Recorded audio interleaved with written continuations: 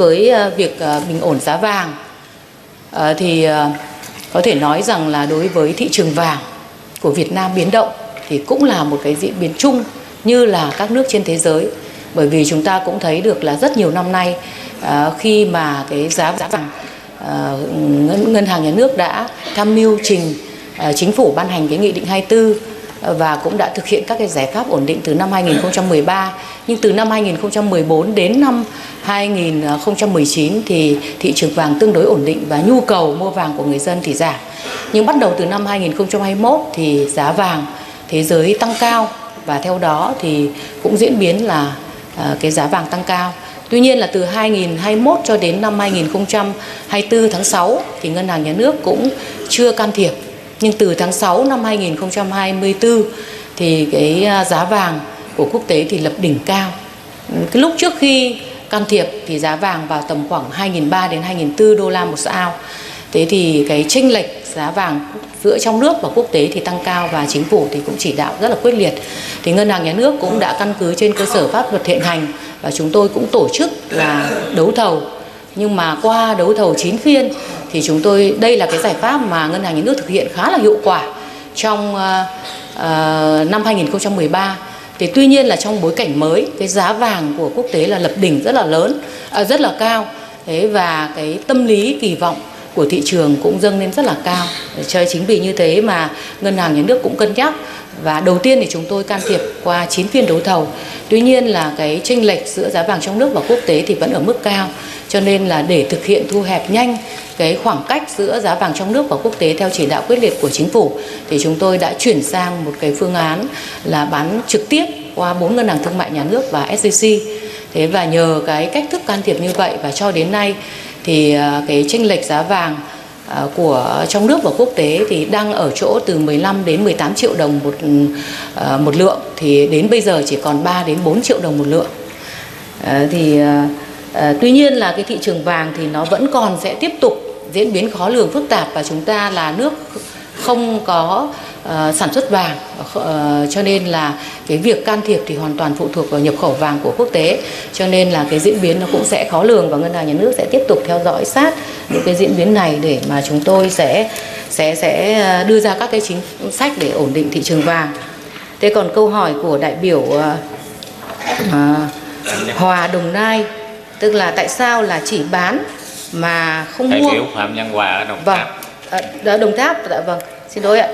Thì à, tại sao là ngân hàng nhà nước chỉ bán và không mua? Thì cũng báo cáo với quốc hội là khi mà đánh giá xem xét cái thị trường vàng thì cũng xét thấy là từ năm 2014 đến nay ngân hàng nhà nước cũng không cung à, vàng miếng ra thị trường bởi vì ngân hàng nhà nước là độc quyền sản xuất vàng miếng. Cho nên với bối cảnh và cái nhu cầu gia tăng à, thì ngân hàng nhà nước là à, cung vàng Đấy, và đối với ngân hàng nhà nước thì chưa đặt vấn đề là mua lại. Thế còn đối với các ngân hàng thương mại nhà nước thì uh, khi bán vàng thì ở đây là trong cái giai đoạn này thì uh, ngân hàng nhà nước là chủ yếu là thực hiện cái giải pháp để tăng cung vàng. Thế còn hiện nay thì đối với hệ thống kinh doanh mua bán vàng miếng thì đã có 22 tổ chức tín dụng và uh, có 16 doanh nghiệp kinh doanh mua bán vàng miếng. Thì các cái ngân hàng và các doanh nghiệp này thì hoàn toàn cũng vẫn là mua bán cái vàng là bình thường. Thế còn câu chuyện doanh nghiệp mà không mua vàng à, của cái cá nhân thì cũng có thể vì một à, vài cái lý do nào đấy về cái cân đối tiền vân vân thì đấy là là là không mua. Thế còn ở tại sao lại bán ở thành phố Hà Nội và Hồ Chí Minh? Thì à, ngân hàng nhà nước chỉ cấp phép đối với doanh nghiệp kinh doanh mua bán vàng miếng chứ không có quy định bắt buộc là phải ở địa điểm nào thế còn bản thân các các doanh nghiệp và các tổ chức tín dụng sẽ tự xem xét đánh giá trên nhu cầu ở các tỉnh thành và mở các cái địa điểm mua bán vàng miếng. Thế thì ờ, qua cái tổng hợp từ chi nhánh ngân hàng các tỉnh, thành phố thì chúng tôi cũng thấy là cái nhu cầu mua bán vàng thì chủ yếu là ở thành phố Hà Nội và Hồ Chí Minh và các thành phố lớn. Thế còn đâu là ở các tỉnh thành trong cả nước thì hầu như là không có cái hiện tượng là người dân mua vàng hoặc là xếp hàng mua vàng. Để xin trân trọng báo cáo quốc hội về ba câu hỏi của đại biểu. À, đại biểu còn một câu hỏi nữa để thống đốc à, có thể là có 3 à, phút trả lời là về cái à, lãi suất đô la vâng. à, quy động ở nước ngoài thì phải trả lãi vay nước ngoài nhưng mà vâng. người dân trong nước thì không gửi tiết kiệm thì không có lãi. Dạ vâng. Vâng. À, xin cảm ơn Ờ, câu hỏi liên quan đến cái lãi suất đồng đô la Mỹ thì đây cũng là một cái câu hỏi mà uh, cũng có nhận được cái sự quan tâm. Thế thì ngân hàng nhà nước cũng xin báo cáo là uh, lý do tại sao ngân hàng nhà nước lại sử dụng cái công cụ là áp dụng cái lãi suất bằng không đối với tiền gửi ngoại tệ. Đó là trước đây thị trường ngoại hối và tỷ giá của Việt Nam thì thường xuyên biến động và có những cái giai đoạn mà nền kinh tế thì có thặng dư ngoại tệ thế nhưng mà mỗi một khu vực thì lại găm giữ và không bán À, ngoại tệ ra thế cái người có thì không bán và người chưa à, có nhu cầu thì đã là ra mua cho nên rằng là ừ, thị trường à, ngoại hối và tỷ giá của ngân, của của Việt Nam đã trải qua những giai đoạn biến động và nó gây bất ổn kinh tế vĩ mô. Thế thì từ năm 2016 thì ngân hàng nhà nước cũng đã áp dụng đồng bộ rất nhiều các cái giải pháp. Trong đó thì có những cái giải pháp quan trọng thứ nhất là kiên định điều hành theo mục tiêu kiểm soát lạm phát để mà giữ ổn định cái giá trị của Việt Nam đồng thứ hai nữa là chúng tôi cũng thực hiện các cái giải pháp kết hợp chính sách lãi suất và tỷ giá để làm sao mà nắm giữ Việt Nam đồng là hấp dẫn hơn và có lợi hơn. Thì theo đó thì cái lãi suất của ờ, đô la Mỹ thì đưa về 0% thế và thực hiện các cái giải pháp để ổn định tỷ giá. Và đưa ban hành những cái thông tư ờ, để mà uh, hạn chế những cái việc mà doanh nghiệp mua trước khi mà có cái nhu cầu uh, về ngoại tệ.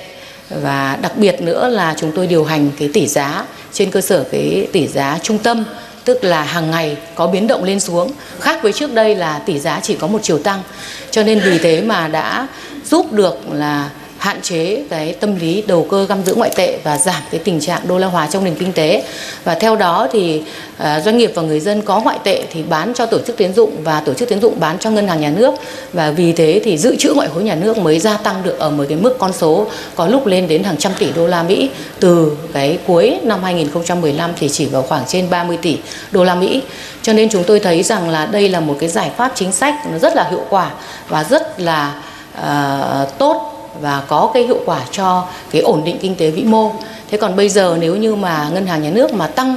cái lãi suất uh, tiền gửi ngoại tệ lên thì có nghĩa là cái người nắm giữ ngoại tệ vừa được uh, lợi về những cái biến động tỷ giá vì hiện nay là đồng đô la Mỹ đang tăng giá và chính sách của Fed vậy. Thế họ lại còn được lãi suất của cái tiền gửi ngoại tệ nữa thì có thể nó sẽ gây tâm lý chuyển dịch từ Việt Nam đồng sang ngoại tệ thì cái thị trường nó có nguy cơ là rủi ro trở lại. Thế còn đối với cái việc mà vay nợ nước ngoài thì có thể nói rằng là về bản chất thì nền kinh tế của Việt Nam của chúng ta là nước đang thiếu vốn. Đấy, cho nên rằng là để ờ, phát triển kinh tế xã hội thì cũng như các nước thì chúng ta phải huy động cái nguồn lực của nước ngoài thông qua các cái kênh như là đầu tư trực tiếp, đầu tư gián tiếp hoặc là đi vay nợ nước ngoài. Thì như vậy thì ờ, tuy nhiên là phải đảm bảo các cái cân đối vĩ mô thì xin phép được là báo cáo với đại biểu về cái câu hỏi về về về về về tỷ giá và ờ, lãi suất của đô la Mỹ như thế ạ. Vâng. Cảm ơn thống đốc. À, tôi đề nghị thống đốc nếu mà cái trả lời câu hỏi của đại biểu Phạm Văn Hòa không có thời gian trả lời ở đây thì đề nghị thống đốc ờ, trả lời bằng